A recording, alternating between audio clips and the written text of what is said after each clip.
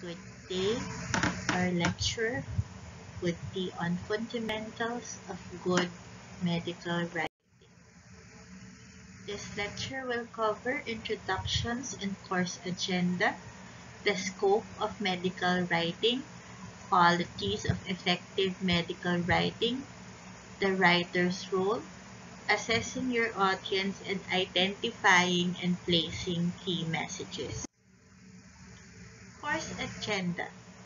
Usually these are lectures, good medical writing and controlling sentences, study reports for regular submissions, journals, peer review and publications, presenting different types of clinical evidence, presenting statistical data for publication, transparency initiatives, medical communication, new frontiers in publishing, tips for using MS Office, workshops, presenting at conferences, writing up clinical trials, and tests. All of this would entail skills needing your skill in medical writing. Scope of medical writing it would include internal and regulatory reports, conference presentations, you have to make an abstract, oral presentations, and posters. You have to read and eventually write journal articles. You would read, need to write your original research paper. You would have to review articles, make case reports, and send letters to the editor. Qualities of good medical writing. You start with good science. Communalism is a common ownership of scientific discoveries. As to universalism, it's evaluation using universal unbiased criteria. Disinterestedness, scientists should act selflessly.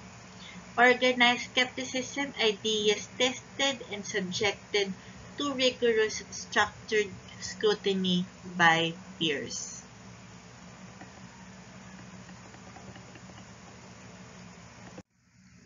You should plan effectively. The research asks a very specific question and tests a specific hypothesis.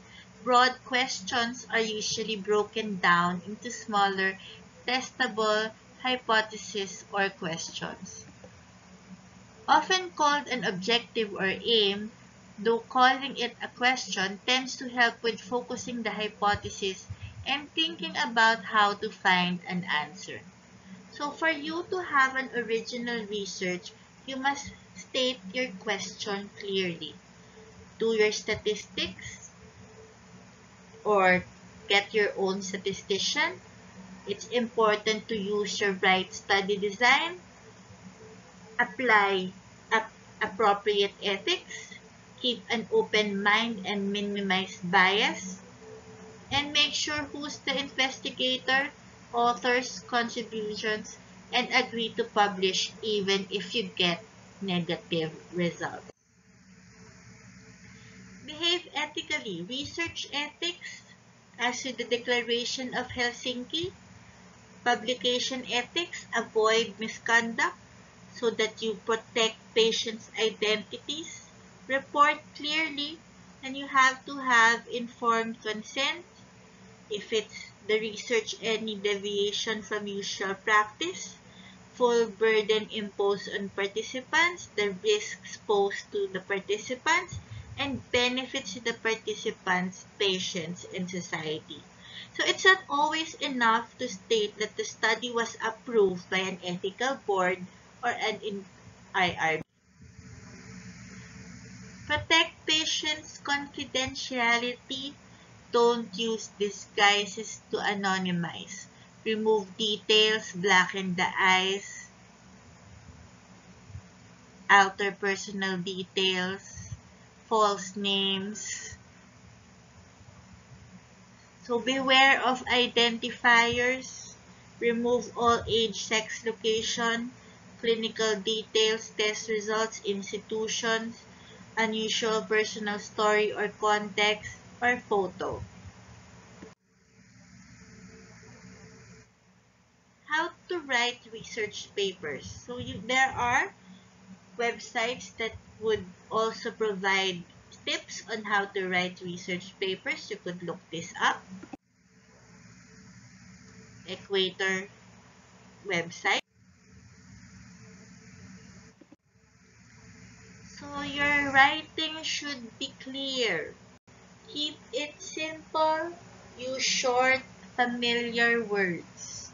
Avoid jargon and acronyms and be specific. Be concrete and say what you mean and mean what you say. Most encountered manuscript problems are the following. Poorly written and the use of excessive jargon. More often than not, we as the medical students and medical practitioners fall into this trap. We, are, we get so used with our everyday terminologies that we fail to identify that this is already medical jargon. Inadequate in an appropriate presentation, so we go back to how we should present our data appropriately and poor description of design. So, poor choice of study design. What is the role of the writer? Who did what and why? So, we have our authors, contributors, competing interests, and publication ethics. Authorship. So, avoid guest and ghostwriters. So, authorship credit is based only on substantial contribution to conception and design or data analysis and interpretation, drafting the article or revising it critically for important intellectual content, and final approval of the version to be published. So all these conditions must be met. Solely acquiring funding or collecting data does not justify authorship. All authors included on a paper must fulfill the criteria and no one who fulfills the criteria should be excluded. To be a contributor, it took part in planning, conducting, and reporting the work, including professional medical writers. Guarantors are who accept full responsibility for the work and or the conduct of the study, had access to the data, and controlled the decision to publish.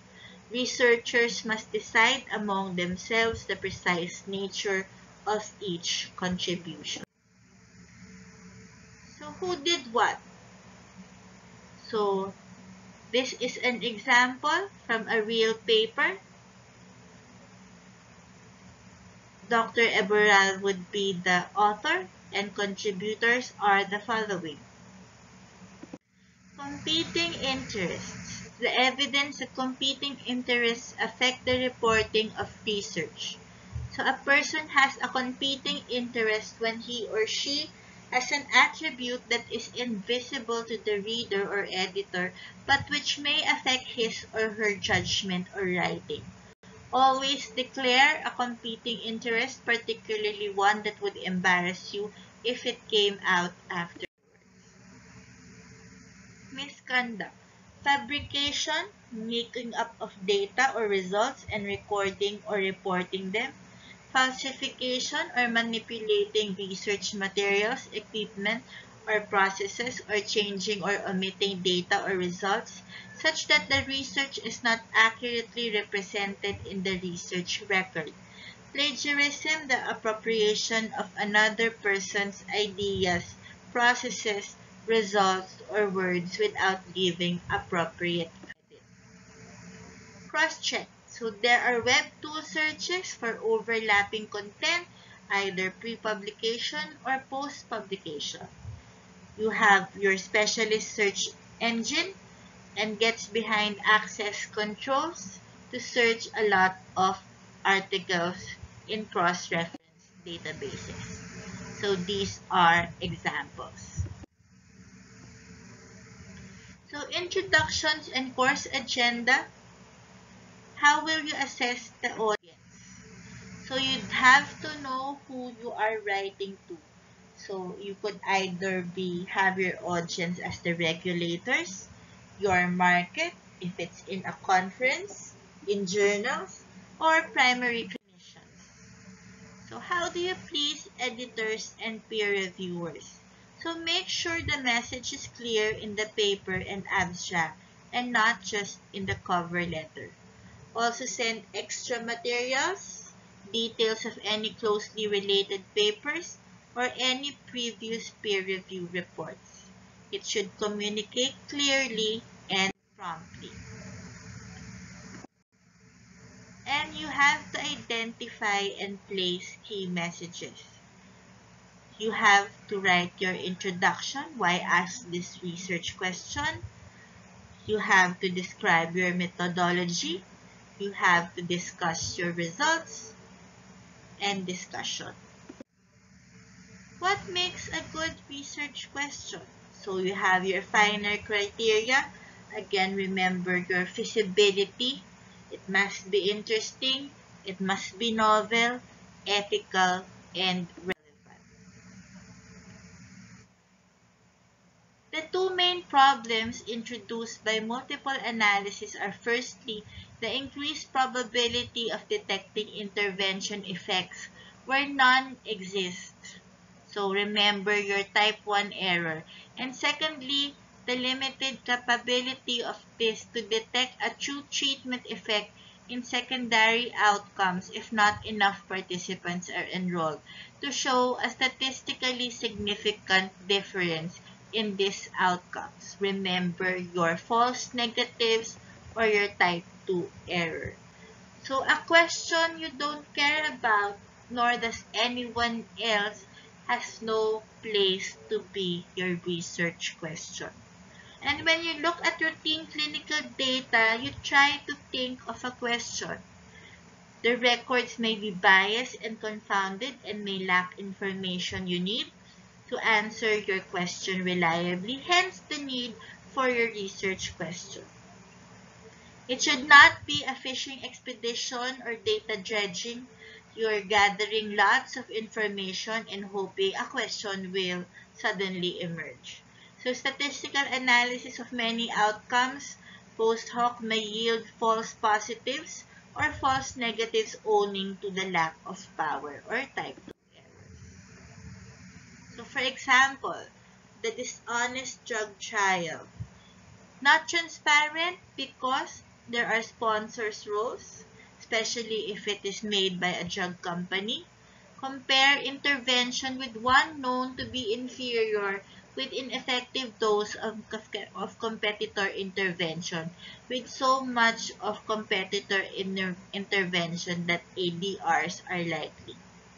Multiple endpoints and report selectively, reports results only from favorable centers, only favorable subgroup analysis, presents most impressive results such that reduction in relative rather than absolute risk is presented.